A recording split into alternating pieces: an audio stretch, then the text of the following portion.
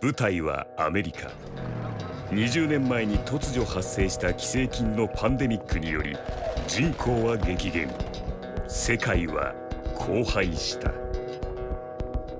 闇市場での取引を生とするジョエルはエリーという名の少女をある場所まで運ぶ仕事を引き受け2人は危険な世界を共に旅することになる。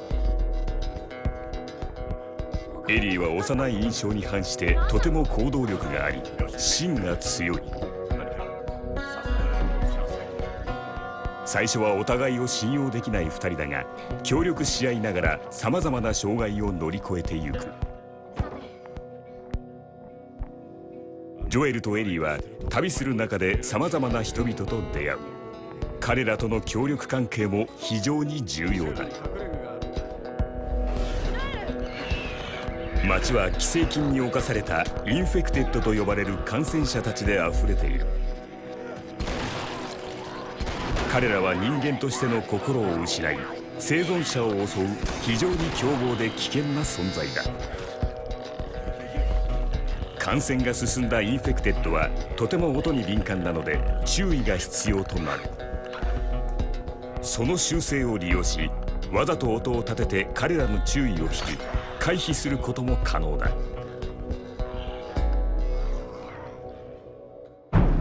敵に近づく際聞き耳を立てることで音の発信源である敵の姿を確認することができる。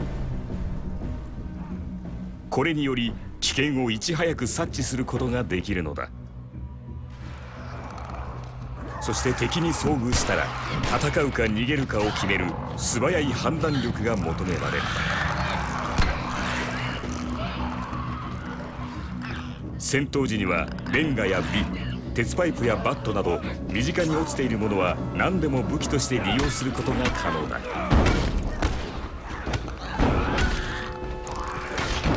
そのため身近に落ちている物資をこまめに拾い集めることが大切だ。この世界に無駄なものは存在しない。拾い集めた物資には様々な用途がある。例えばアルコールと布で敵を攻撃する火炎瓶を作り出すことが可能だ。また同じ材料が負傷した際に使う治療キットにもなる。手に入れた物資をどれだけ有効に活かせるかがサバイバルの重要な鍵だ。ゲーム内で収集できるアイテムを使って武器の強化をしたり。キャラクターの能力を強化することも可能だ。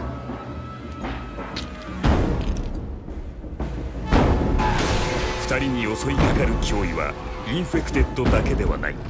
寄生菌の恐怖に侵されたこの世界は人間同士の争いも狡猾で残忍だ。ジョエルたちは目的のため他の生存者たちのテリトリーに侵入する。そこでは物資を奪い合う人間たちが容赦なく彼らに襲いかかってくる。いい景色だね。そのくらいの義理はあるはずでしょ。お願い。ならとっとと町から出てけ奴らに見つかったらお前の援護が頼りだ。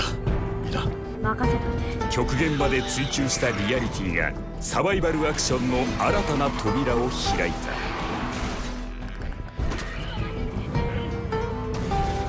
二人で生き抜けこの最悪な世界を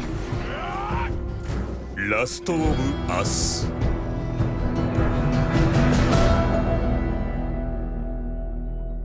気をつけろ。近くに敵がうろついてる。そして生存をかけた緊迫のマルチプレイも収録。感染後の世界で仲間と共に資源を集めて12週間生き残れ